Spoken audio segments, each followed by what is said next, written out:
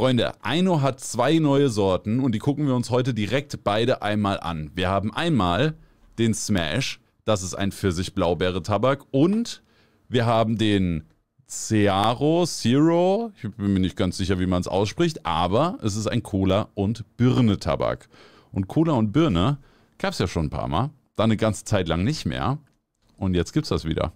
Und ob der da äh, gut ist, gucken wir uns jetzt an. Preis und Menge ist wie bei Aino Virginia typisch, 20 Gramm und 3 Euro. Die Aussage von Aino ist übrigens, Virginia wird seltener gemischt und 20 Gramm ist die beste Portion für die meisten Leute für einen Kopf. Also sagen sie bei Virginia, da machen wir 20 Gramm, dann hast du hier genau ein Köpfchen für 3 Euro. Ist fair. Ich persönlich mische aber meistens, vor allem bei Virginia, weil für mich noch ein Dark Blend dazu muss. Aber heute gucken wir uns die beiden Sorten natürlich einmal pur an. Wir werden uns zwei Lowloads anmachen, zweimal Funnel, finde ich deutlich geiler für einen Virginia-Tabak. Und wir werden uns natürlich einmal den Smash bauen und einmal den Cearo, wo ich mir immer noch nicht sicher bin, wie man den ausspricht. Mit Blaubeere machen wir in den blauen Kopf. Das ist also der Smash. Den bauen und rauchen wir auch jetzt als erstes. So, machen wir mal auf. Ich muss ja sagen, ich bin nicht der größte Blaubeeren-Fan, aber ich habe schon ein paar Prototypen von dem geraucht und die Prototypen waren auf jeden Fall auch schon mal nice. Das heißt, ich hoffe, der ist genauso geblieben. Schnitt und Feuchtigkeit.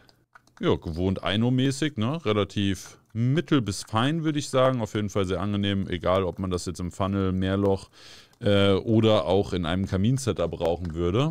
Feuchtigkeit hat er genug, aber wir haben jetzt irgendwie keine, also wir haben keine überschüssige Molassepfütze auf dem Boden von der Dose. Das passt da auf jeden Fall schon mal. Dann bauen wir uns mal ein Köpfchen. Wir machen hier einmal an. Wir sollten, denke ich, so roundabout 15 Gramm im Low-Load brauchen. Schauen wir mal, vielleicht auch ein bisschen mehr. Ich will ja auch ein Overpack. Also die Noten, die mir jetzt schon entgegenkommen, sind auf jeden Fall sehr Peach-dominant. Und das ist so, es wirkt so ein bisschen wie eine Mischung aus einem Peach-Eistee und einer pelzigen, natürlichen Pfirsichnote. Oh, da geht aber tatsächlich relativ viel drauf. Ja gut, aber sollten ja auch nur noch... Ja gut, wir haben 15,2 und das sind noch 5 Gramm hier. Ja, kommt hin.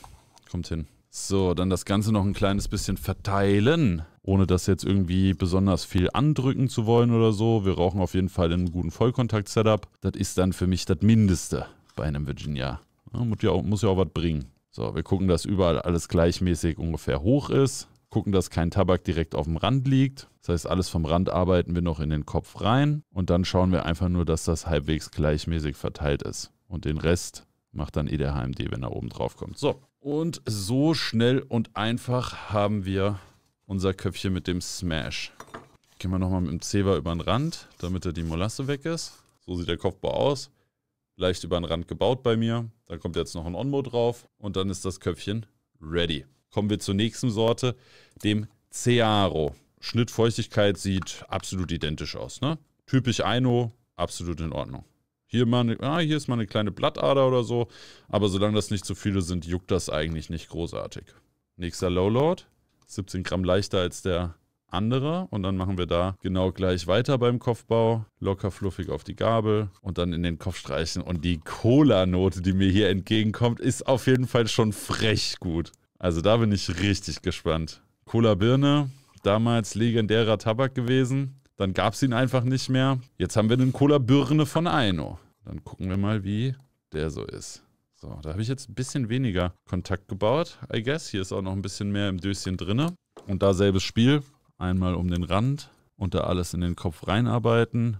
Auch in der Mitte am Funnelloch sollte nicht zu viel liegen, ansonsten fetzt uns das eh nur in die Bowl und dann bringt uns das nichts. So, dann verteilen wir das Ganze hier noch schön. So, Gabel sauber. Und dann sind beide Köpfchen fertig. Einmal der Smash und einmal der Ciaro.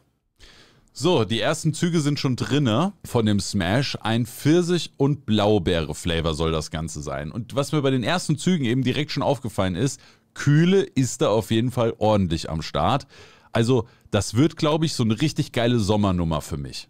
Ich glaube, Aino hatte die sogar auch auf Insta als die zwei neuen Sommersorten oder sowas angekündigt.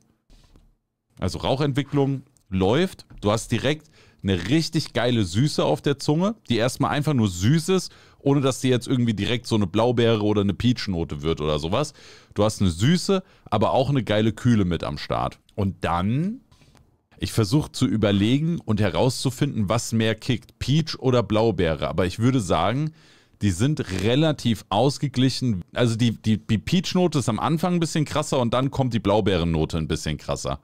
Die Peach-Note ist wie im Geruch. Ich würde sagen, zu 70% so eine Eistee-Peach-Note und zu 30% so eine natürliche, leicht pelzige Peach-Note, die da noch mit am Start ist. Kombi ist aber geil. Und für eine Peach-Eistee-Note sind die 70% aber nicht wirklich künstlich. Und dann hast du noch diese Blaubeere am Start. Dann hast du noch die geile Süße, die direkt auf der Zunge liegt. Aber auch die Kühle, die, glaube ich, gerade für so einen fruchtigen Sommerflavor jetzt ziemlich geil ist.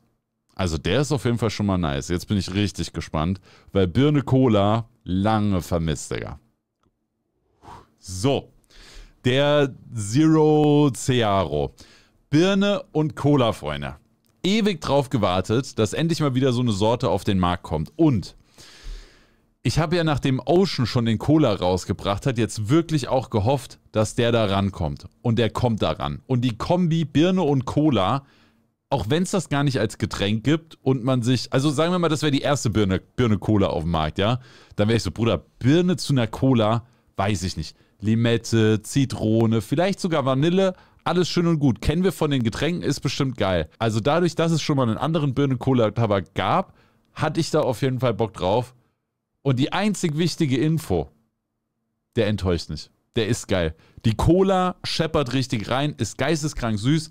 Dann so eine frische, leicht säuerliche Birne, die dann noch am Start ist, aber die Süße überwiegt auf jeden Fall, ist Killer.